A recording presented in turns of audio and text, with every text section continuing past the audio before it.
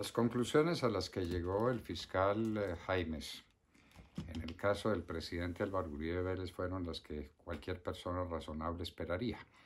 Contra el doctor Uribe Vélez no hay ni una sombra de prueba que pueda afectarlo en su libertad y en, en sus condiciones de hombre limpio, honesto, inocente, perfectamente inocente. Eso estaba claro, eso tenía que ser así.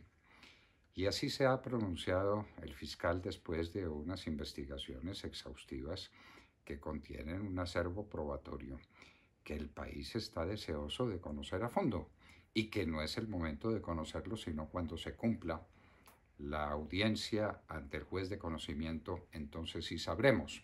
Sabremos, por ejemplo, lo de los, eh, las siete SIM car que tenía este sujeto Monsalve a su disposición y esas conversaciones con quiénes eran, quiénes eran sus contertulios habituales a través de siete, siete.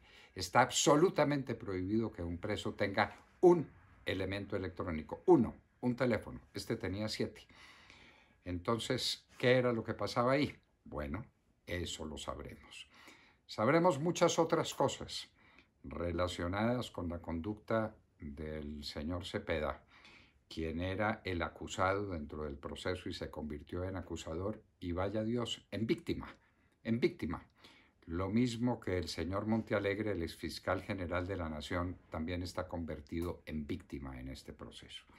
Ante tales absurdos, el fiscal se, produjo como se, se pronunció como se tenía que pronunciar, diciendo que va a llevar ante el juez del conocimiento todo el acervo probatorio con la recomendación de que sea definitivamente archivado el expediente después de un auto inhibitorio que se confirme a través de, las, de los mecanismos de rigor eh, previstos en esta clase de procesos. Para eso eh, tomará, o eso tomará unos meses, como nos lo explicaba muy bien el gran abogado penalista Francisco Bernate, a quien eh, escuchábamos hace unos minutos en la hora de la verdad. Pero lo que queremos destacar o queremos destacar varias cosas. Lo primero, que el eh, fiscal Jaimes puso de presente las enormes irregularidades cometidas por el equipo investigador de la Corte Suprema de Justicia, que ahora está dividida en dos, en una especie de fiscalía y en una Corte Suprema de Conocimiento. Pero bueno, esos son gajes del oficio de una legislación tan frondosa en esta materia que termina no sirviendo para nada.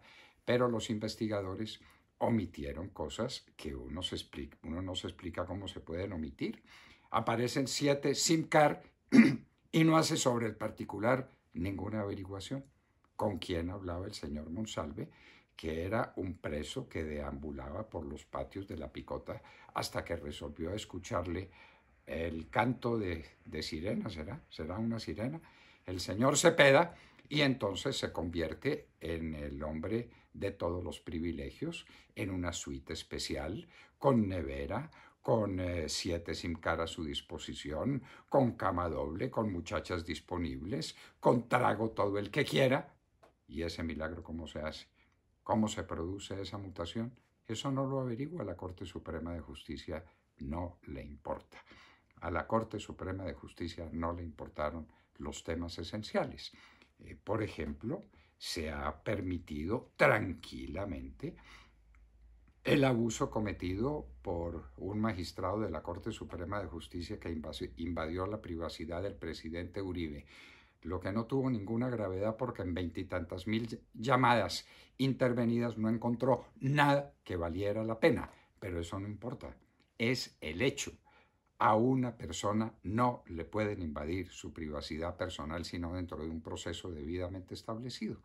Y este señor Barceló dice muy orondo que era que él no estaba examinando al presidente Uribe, sino que fue pura casualidad, que examinando otro eh, sujeto, otro celular, otras eh, conversaciones telefónicas, le aparecieron sorpresivamente y sin culpa, entre 80 millones de teléfonos, el del presidente Uribe y el de sus conversaciones eh, privadas, para ser inmediatamente intervenidas porque le parecieron muy interesantes al doctor Barceló.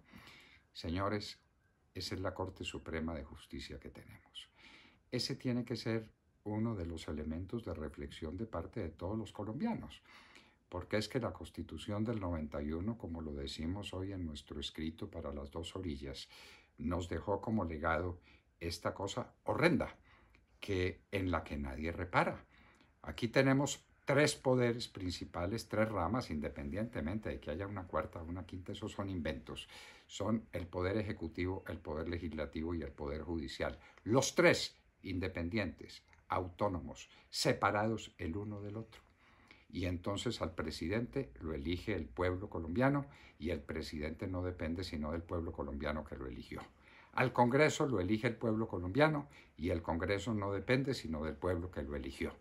Pero el Poder Judicial, válganos Dios, el Poder Judicial depende del Congreso. Y a la gente eso no le llama la atención y nadie pregunta qué fue lo que pasó. Ahí está el origen, la fuente de la corrupción del proceso eh, judicial en Colombia. Ahí está el comienzo del cartel de la toga. Ahí están todos los desaguisados que se producen en el Poder Judicial, el origen político que tiene el Poder Judicial, que no es autónomo y que no es independiente. Tres ramas del poder, independientes y autónomas. No, dos independientes y autónomas. Una dependiente del poder de los políticos, del poder de quienes son menos apreciados por el pueblo colombiano, como lo dicen en sus encuestas. No le creemos a los políticos, no le creemos a los partidos, no le creemos a quienes están ejerciendo las funciones en el Congreso. Y ese Congreso es el que elige el Poder Judicial. Habráse visto semejante desatino. ¿Habrá otro parecido desafuero? De ahí viene de esas, de tan malos orígenes de esas cabeceras, vienen estas aguas turbias en las que estamos sumidos. El pueblo colombiano tiene que reflexionar sobre ese tema. Antes de la Constitución del 91 teníamos un sistema de cooptación que pudo tener sus fallas, que pudo tener sus dificultades, pero que era confiable, porque el magistrado que se iba era reemplazado por quienes determinaban los demás magistrados, que no querían tener un pillo por colega, que no querían tener una persona de malas calificaciones porque le quitaba calificación a la propia corte o a la propia sala. La cooptación podía tener dificultades, pero era propia de un poder judicial autónomo e independiente. Y la Constitución del 91 acaba la cooptación y le da el poder al Congreso de elegir el Consejo Superior de la Judicatura, que es el que hace las listas para los magistrados de todas las Cortes. Y la Corte Constitucional elegida entre ese Congreso, corrupto para muchos, y el presidente de la República. Entonces ahí tenemos una Corte Constitucional, como es el caso de la presente, que es absolutamente una Corte santista. Eso no es una Corte Constitucional, es una Corte santista. Señores, a propósito del debate sobre la obvia inocencia del presidente Álvaro Uribe Vélez, surge otro más importante, el debate sobre la autonomía, la independencia y la imparcialidad del Poder Judicial. En este momento, dependiente absolutamente del poder de los congresistas. Quien quiere ser magistrado de una alta corte tiene que reptar entre los congresistas de turno a ver qué respaldo tiene, con cuáles compromisos, de qué manera se transige para que el Congreso le dé al Consejo Superior de la Judicatura la lista de donde saldrá la lista de los magistrados. Esto es sencillamente inaudito. No tenemos poder judicial. Y el presidente Álvaro Uribe Vélez, por mucho que digan eh, los del gallinero alborotado que en este momento está respirando por la herida, es un hombre totalmente inocente, porque no hay duda ninguna, es lo que dejó claro el eh, señor Jaimes, que no tiene nada que ver con actos de obstrucción a la justicia o con actos de soborno.